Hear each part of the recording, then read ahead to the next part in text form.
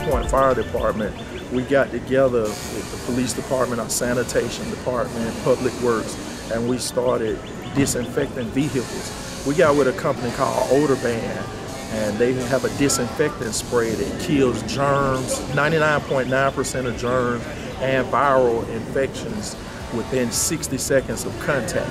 So what we did, we put them on a schedule, our uh, city departments, and they come out and we disinfect all their vehicles.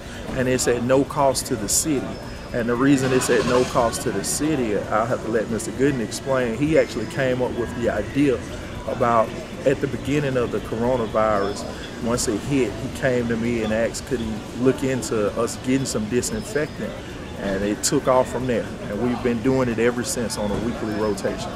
So OdoBan has a strong connection with the fire departments in South Georgia. And when I reached out to them, they was more than happy to supply us with a concentrate that made up to 110 gallons of this uh, disinfectant and uh, bacterial uh, disinfectant. So it was their generosity that made this whole thing happen, the direction of the chief here through everything that's going on, we ask that everybody remain safe and try to stay safe. And remember, social distancing is the key. First line of defense.